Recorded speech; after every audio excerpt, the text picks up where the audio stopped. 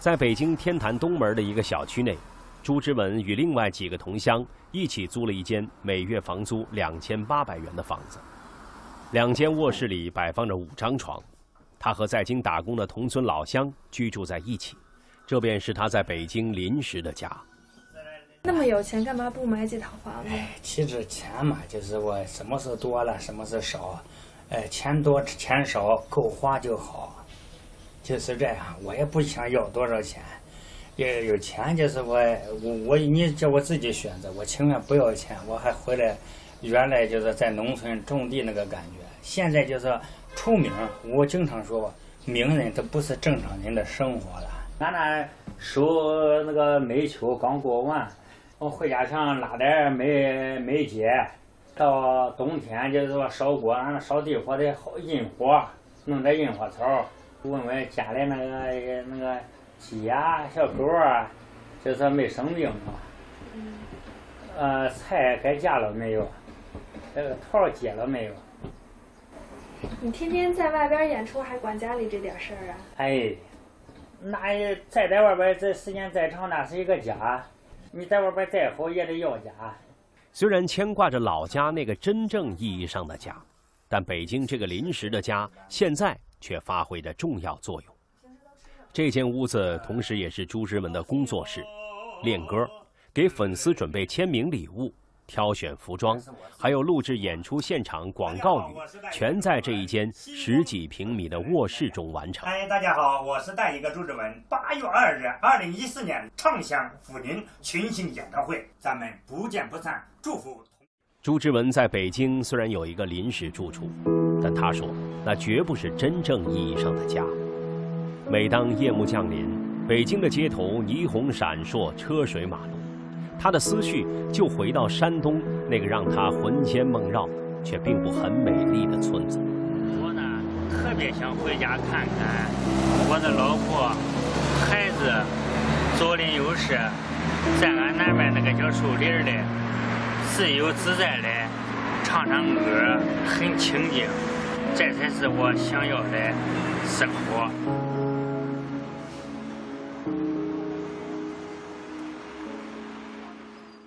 哎，好心人留步留步？哎，那个我，你买我这一件大衣吧。我这个大衣你穿上还能暖和，还能拥抱你。朱之文的演艺圈朋友对他最大的评价就是朴实无华、接地气。这也是为什么朱之文成为了各大演艺活动的常客。除了老本行唱歌外，他偶尔还会出现在影视剧拍摄现场。他的形象，包括他说话的声音呢，呃，还有他的一些呃神态呀，我觉得都很符合呃我们这个电影，在整个状态上也会比较朴实，然后就是比较接地气，所以我们那个找他过来帮我们串一个戏，而且现在最近他的名气也是特别的火，嗯，所以也想。借他名气呀，对对对，所以我们也觉得他比较火嘛，因为我们中间也串了好多演。开机，我是剧场一进五次。穿上军大衣，回家参加选秀节目，就唱“滚滚长江东逝水”，火遍大江南北，最终登上春晚。对于朱之文来说，连续多天的高强度工作让他觉得身心俱疲。原本镜头前热情的表演，在结束的那一刻，立即变成了满脸倦容。演员这一份看似光鲜的工作，在朱之文眼中却有另一番解读。最好也别当演员了，当演员这这，那光唱歌给我累得我够呛了，在这当电影演员那才没有我好时候呢。哎，好多人都觉得出名怪好似的，哪是你的？什么都不是你的，自己享受了，吃了。吃肚里才算是自己的了啊！来来来来来来啊！哎呀，走走走走走，了。哎呀，走走走走啊！走走走。这天，朱之文得到消息，二哥要辞工回家。朱之文的二哥朱之房在北京大瓦窑的装修工地上打工，因为年龄已过半百，他决定辞去装修队的工作，回家养殖兔子补贴家用。朱之文见二哥辛苦，出资三万元作为二哥回乡搞养殖的起步资金。哎呀，二哥，那我我回去了是吧？啊，你这个啥？我没有时间跟那个请客了。我我那跟那个谁，跟那个几个咱那老乡谁呀？那个说他吃吃个饭。别吃饭。哎，给你拿着拿着，我我没时间请客，你跟几个咱老乡吃吃个饭。二哥的回乡计划再一次勾起朱之文的思乡情绪，但令他内心矛盾的是，自己到底想要什么样的生活？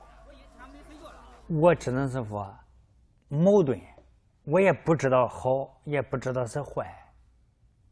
啊，要是好了，我的条件比以前好了，成名以后好了，嗯，有钱了，啊，呃，让很多人认识我了，给我祖宗。呃，那个增光添彩了，不好了，就是我付出的太多了，太累了，我很矛盾，就是一句话矛盾。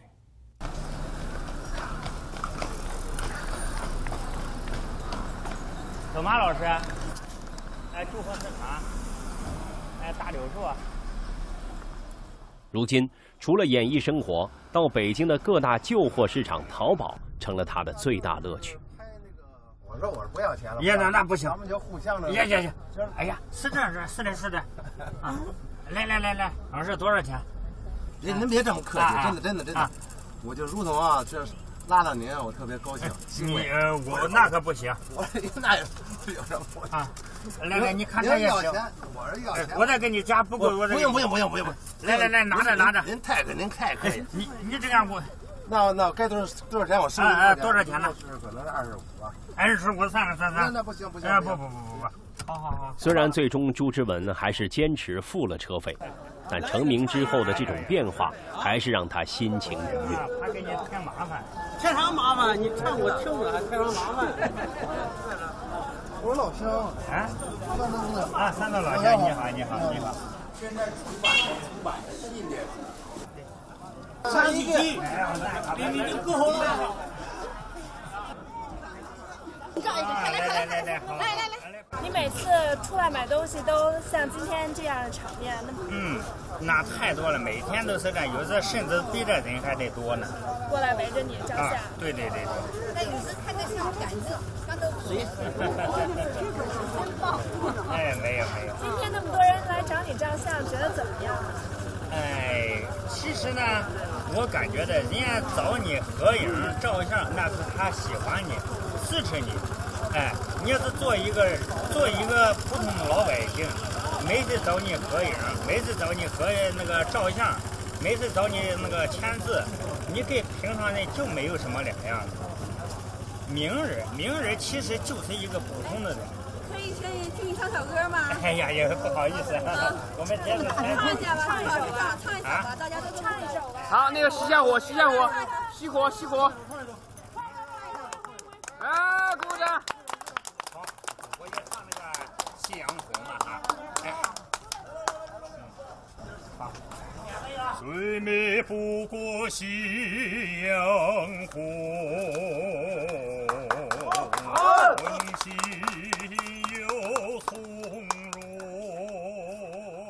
不论是演出还是逛街，朱之文随时都会被粉丝们热情包围着。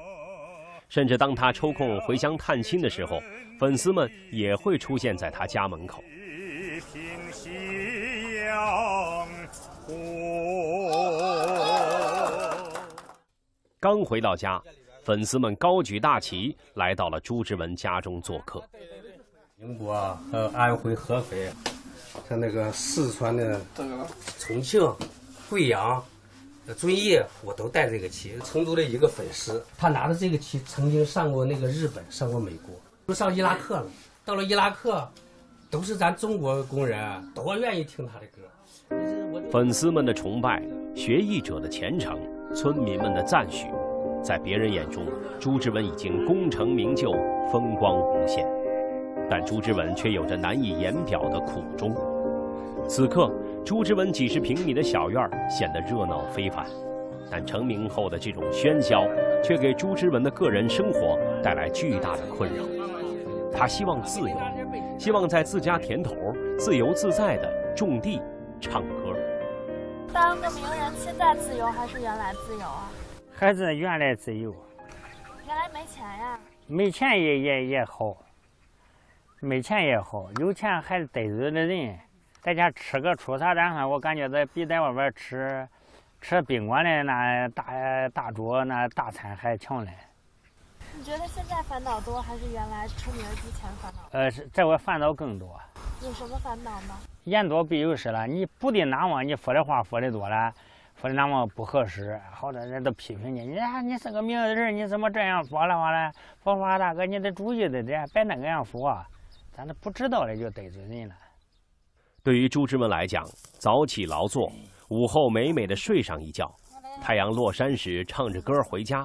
也许这是他现在最渴望的生活，但他也明白，这样的生活或许他已经回不去了。